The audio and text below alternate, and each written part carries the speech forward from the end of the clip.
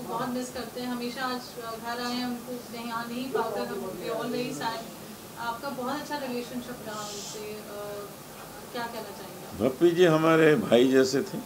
बहुत अच्छे, प्यारे इंसान। और जो संगीत उन्होंने दिया, वो तो अमर है। मैं कल ही एक कॉन्सर्ट में उनका गाना गा रहा था चलते चलते मेरे एक गीत याद रखना। सब लोग गाते हैं वो गाना। हम सारी दुनिया में गाते हैं और लोग इस गाने का बहुत मज़ा लेते हैं। पूरी पब्लिक गाने लगती है। पूरी ऑडियंस गाती है। तो आज उनके ही घर में हम मिले हैं। अभी मैंने गाना रिकॉर्ड किया जो भपीदा की आवाज़ में उन्होंने कंपोज करते समय गाया था। और मैंने उसको अभी डब किया अपनी आवाज़ में और इस फ़िल्म का वो बहुत खूबसूरत बेहतरीन गाना है। उनकी जो म्यूज़िक लेगेसी को आज फॉरवर्ड लेके जा रहे हैं गोविंद जी और रीमा जी उनके गानों के थ्रू और प्रोडक्शन हाउस आज लॉन्च किया उसके बारे में आप क्या कहें? देखिए एक फ़िल्म आई थी वीर ज़ारा। जी जी। उसमें संगीत था मदन मोहन जी का। और मदन मोहन जी जा चुके थे। ये चीज़ दोहराई जा रही है। भप्पी लहरी जा चुके हैं, भगवान के चरणों में बैठे हैं, और उनके द्वारा बनाया गया संगीत अब इस फ़िल्म में आ रहा है। तो वही वीर ज़्यादा फिर से दोहराई जा रही है। उस फ़िल्म ने हंगामा किया था, उस फ़िल्म के म्यूज़िक ने हंगामा किया था, और वही चीज़ मुझे विश्वास है कि इस फ़िल्म से आप पाएँगे क्या क्या बहुत सही।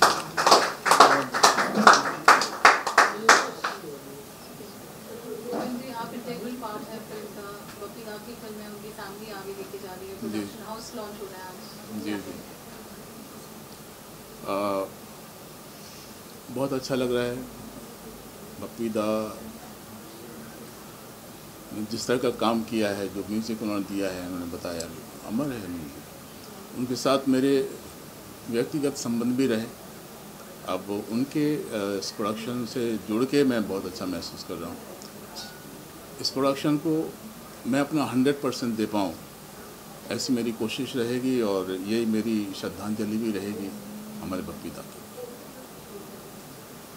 राजन जी फ़िल्म आपने आप डायरेक्ट कर रहे हैं इमोशनल मोमेंट है सबके लिए के साथ हम बहुत सालों से जुड़े रहे क्योंकि मेरे फादर ने उनकी शायद सेकंड फ़िल्म थी कि थर्ड फ़िल्म पापी थी तो वो उन्होंने लिखी थी। तो उनके साथ में उनकी एसोसिएशन वो मेरे ख्याल सेवेंटीज़ की फ़िल्म है। लेट सेवेंटीज़ की होगी शायद।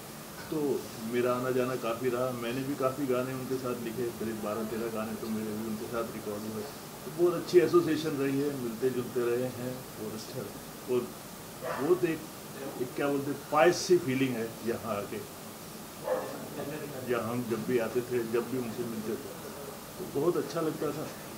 आज तो बहुत ज़्यादा अच्छा लग रहा है क्योंकि एक एक लीगेसी आगे जा रही है उनका काम तो हमेशा याद रहेगा लोगों को जब तक फ़िल्म इंडस्ट्री रहेगी या जब तक दुनिया रहेगी वो उनका काम अमर रहेगा। तो उसके हिसाब से उनकी लीगेसी अभी फॉरवर्ड लेके जा रहे हैं। तो बहुत अच्छा ही होना चाहिए। फ़िल्म कब तक रेडी हो जाएगी और कब तक कर देते हैं? ये फ़िल्म मेरे हिसाब से हम लोग किसी भी हाल में मार्च के एंड तक रिलीज़ करने का हमारा टारगेट है। मार्च का टारगेट है और मेरे ख्याल से मार्च में ही होगी रिलीज़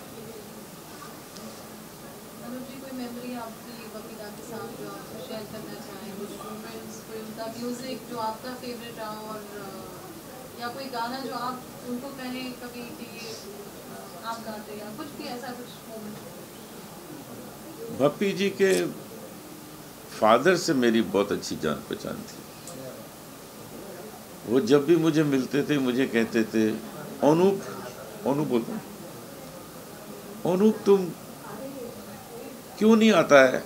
हम तुमको बहुत गाना गवाना चाहता है। तुम इधर उधर प्रोग्राम में बिज़ी हो जाता है। फिर मुझे कहते थे कि, जो कर रहे हो उसमें मज़ा आता है ना? मैंने कहा, बहुत मज़ा आता है। कहते, लेकिन कभी कभी आया करो। बपी अच्छे गाने बना रहा है तुम्हारे लिए। और मैंने दो तीन गाने गाए भी थे। बपी जी के मुझे बड़ा मज़ा आया था गा के। एक खास बात जो थी बपी जी में कि वो आर्टिस्ट को देख के गाना बनाते थे। किशोर कुमार के लिए बनाएँगे तो उनके लिए बनाएँगे। तो जब मुझे सोचा कैसा गाना देना चाहिए तो मेरे हिसाब का गाना बना के दिया। और मुझे बड़ी खुशी हुई, जब हम गाने गए तो मैं गाते गाते मैंने उनसे कहा कि ये गाना आपने मुझे सोच के बनाया।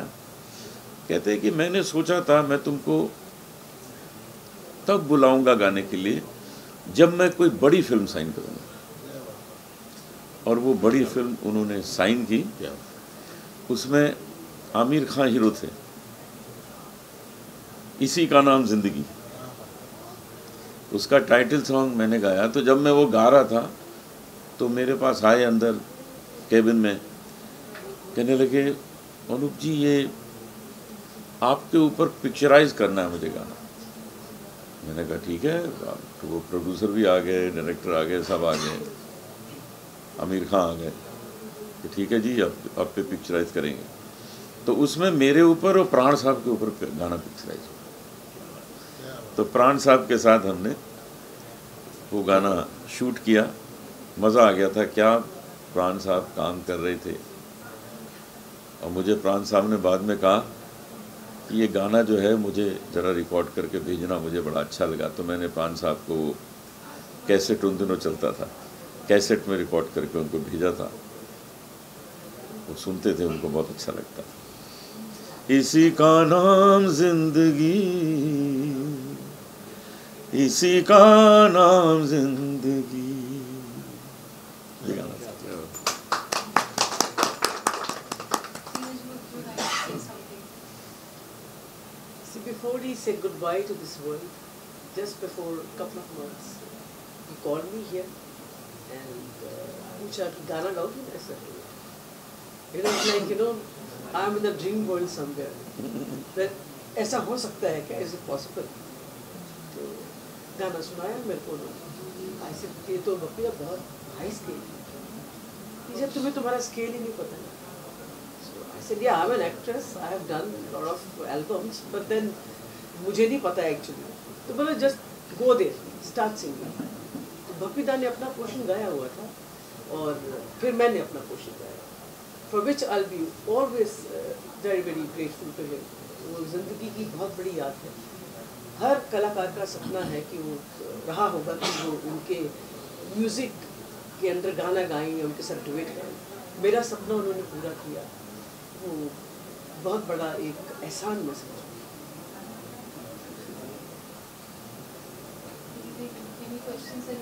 किसी का सवाल.